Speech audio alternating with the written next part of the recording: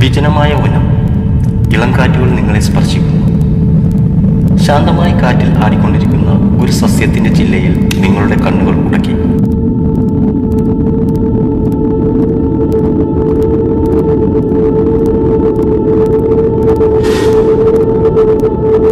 എന്തോ ഒന്ന് ആ ചില്ലയിലുണ്ട് വ്യക്തമല്ല. നിങ്ങൾ അടുത്തു ചെന്ന് നിരീക്ഷിച്ചു. ഒറ്റനോട്ടത്തിൽ മനസ്സിലായി അത് ഒരു വലിയ പുഴുവാണെന്ന്. തികച്ചും സാധാരണമായി തോന്നിയെങ്കിലും നിങ്ങളുടെ ശരീരമൊന്ന് പൂത്തുലഞ്ഞു. കൂടുതൽ നിരീക്ഷിക്കുവാനായി നിങ്ങൾ സസ്യത്തിന്റെ ചില്ല താഴ്ത്തിയപ്പോൾ പെട്ടെന്നുള്ള ചില്ലയുടെ അനക്കത്തിൽ കാറ്റർപില്ലർ രൂപം മാറിക്കൊണ്ടിരിക്കുകയാണെന്ന് മനസ്സിലാക്കി. വളരെ പെട്ടെന്ന് തികച്ചും വ്യത്യസ്തമായ ഒന്നായി മാറിക്കൊണ്ടിരിക്കുന്നു.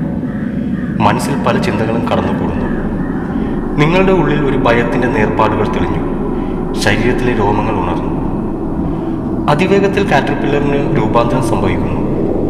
പെട്ടെന്ന് ആ വലിയ പുഴു ചില്ലയുടെ തണ്ടുകളിൽ നിന്ന് മുൻകൈകൾ വിട്ടുകൊണ്ട് അതിന്റെ പിൻകാലുകളിൽ തൂങ്ങിക്കിടക്കുന്നു. അത് തലയുടെ അഗ്രം അകത്തേക്ക് വലിക്കുവാൻ തുടങ്ങി. ശരീരത്തിന്റെ മുൻഭാഗം പുറത്തേക്കെടുത്തു. ക്രമേണ മറഞ്ഞിരിക്കുന്ന മഞ്ഞ വെള്ള കറുപ്പ് നിറങ്ങൾ തെളിയുവാൻ തുടങ്ങി. കാറ്റർപില്ലറിന്റെ ഭയമുളവാക്കുന്ന പുതിയ മുഖം വന്നു തുടങ്ങി. കണ്ണുകൾ മൂക്ക് ചെതുമ്പൽ എന്നിവയായി തോന്നിയത് പതുക്കെ തെളിയുവാൻ തുടങ്ങി. ഉടനടി ഈ പുഴു നിങ്ങളുടെ കൺമുൻപിൽ ഒരു പാമ്പായി മാറുകയാണെന്ന് നിങ്ങൾക്ക് പെട്ടെന്ന് മനസ്സിലായി. ഏതാനും നിമിഷങ്ങൾക്കുള്ളിൽ ഈ കാറ്റർപില്ലർ ഒരു ഐലാഷ് വൈപ്പർ പോലെയുള്ള പാമ്പിന്റെ രൂപത്തിൽ കാണപ്പെട്ടു.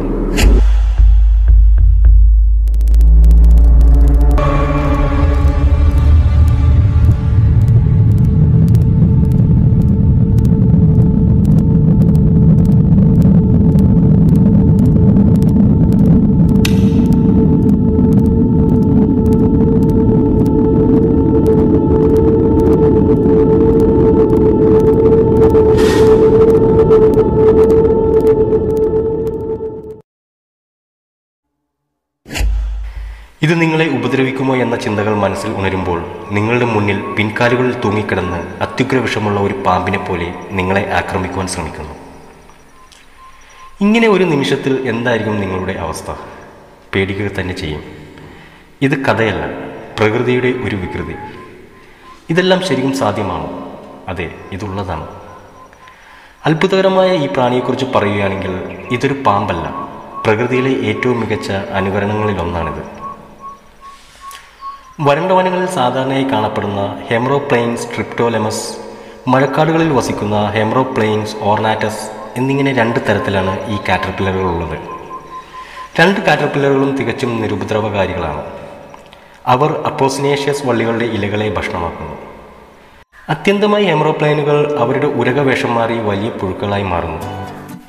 തെക്കേ അമേരിക്ക ആഫ്രിക്ക മധ്യ അമേരിക്ക എന്നിവിടങ്ങളിൽ കാണപ്പെടുന്ന സ്പിങ്ങിഡേ കുടുംബത്തിലുള്ള പുഴുക്കളാണ് ഹെമറോപ്ലെയിനുകൾ. പാമ്പിനോട് സാമ്യമുള്ള രീതിയിൽ അവരുടെ മുൻഭാഗത്തെ ശരീരഭാഗങ്ങൾ വികസിപ്പിക്കുവാൻ കഴിവുള്ളവയാണ്. ഉരകജീവികളുടെ ചെതുമ്പലും ഭയപ്പെടുത്തുന്ന കണ്ണുകളും അവരുടെ അനുകരണ പ്രവർത്തനം കൂടുതൽ വിശ്വസനീയമാക്കുന്നതിന് സഹായിക്കുന്നു. നിരുപദ്രവകരമായ ഈ കാറ്റർപില്ലറുകൾ ചിലപ്പോൾ ഇരകളെ ഇരയാക്കും. തീർച്ചയായും അവർക്ക് വിഷമൊന്നുമില്ല അതിനാൽ അവർക്ക് ഗുരുതരമായ പരിക്കുകൾ വരുത്തുവാൻ കഴിയില്ല. പക്ഷേ അവരുടെ രൂപം മനുഷ്യരെപ്പോലും ഭയപ്പെടുത്തുവാൻ പര്യാപ്തമാണ്.